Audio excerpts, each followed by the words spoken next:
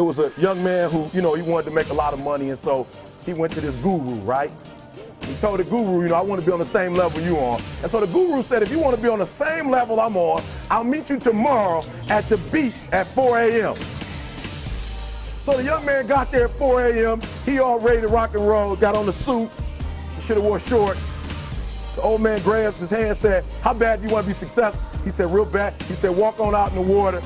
So he walks out into the water. Watch this. When he walks out into the water, it goes waist deep. So he like, this guy crazy. I, I didn't ask to be a lifeguard. I want to make money. He got me in. So he said, come out a little further, walked out a little further. Then he had it right around this area, the shoulder area. So this old man crazy. He's making money, but he crazy. He said, come on out a little further. He came out a little further. It was right at his mouth. My man like, I'm about to go back in here. This guy is mine. So the old man said, I thought you said you wanted to be successful. He said, I do. He said, walk a little further. He came, dropped his head in, held him down, holding him down. My man getting scratching, holding him down. Just before my man was about to pass out, he raised him up. He told the guy, he said, when you want to succeed as bad as you want to breathe, then you'll be successful. The only thing you're trying to do is get some air. You don't care about no basketball game. You don't care what's on TV. You don't care about nobody calling you. You don't care about a party. The only thing you care about when you're trying to breathe is to get some fresh air. That's it.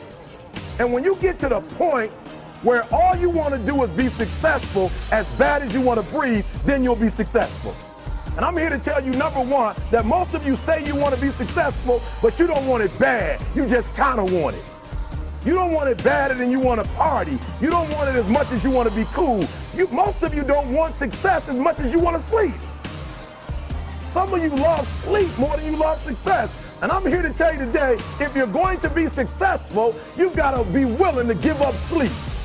You got to be willing to work off for three hours of sleep, two hours. If you really want to be successful, some days you're to have to stay up three days in a row. Because if you go to sleep, you might miss the opportunity to be successful. That's how bad you gotta want it. You gotta go days without, listen to me, you gotta wanna be successful so bad that you forget to eat. Sleep, he says sleep. Sleep is for those people who are broke.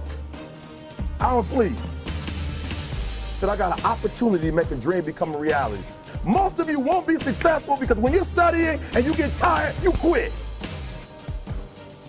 I'm here to tell you today, if you got a, somebody came in my office the other day crying. I said, look, don't cry to give up, cry to keep going.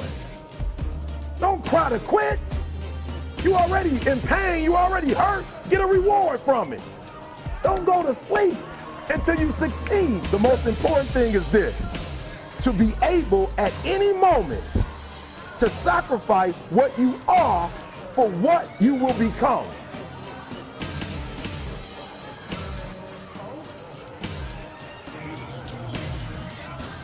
Hey, all access UTA men's basketball. The White Gentry, hey, we just finished boot camp.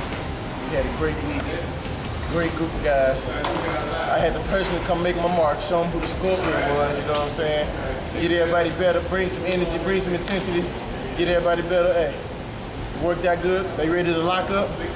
2010, 2011, 2011, 2012 is going down, baby. Peace, it's a wrap. What is your profession? See, old friend, I brought more soldiers than you did.